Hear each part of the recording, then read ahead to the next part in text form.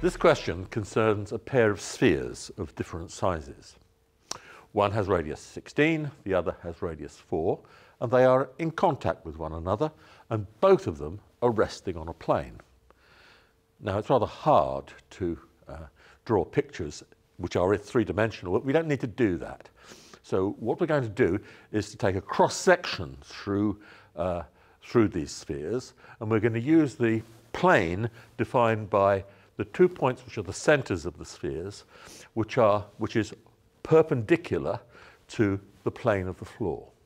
So a, if you like, if you imagine the floor as being horizontal, we're going to take a vertical slice through the spheres, which goes exactly through their centers.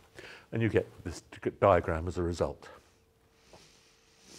Now, the point of contact between the two spheres will be on the line joining their two centers. 4 plus 16 is 20. So we learn that this line segment here has length 20. Now I'm going to draw a line which is parallel to the horizontal base and through this center.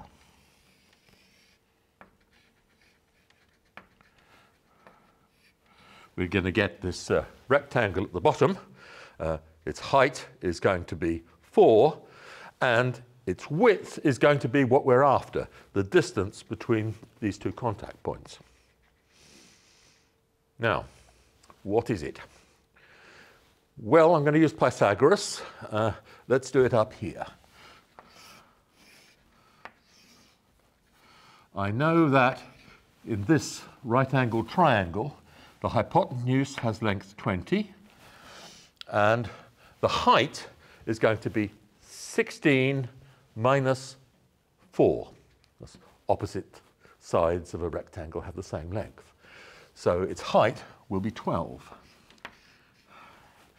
Now this is a disguised version of a 3, 4, 5 triangle scaled up. You take 3, 4, 5 and multiply the numbers by 4, you get 12, 16, and 20. If you don't believe that, what you can do is just work out 20 squared minus 12 squared and then take the square root. Either way, that distance is 16, and that's what we're after. And so the answer is D.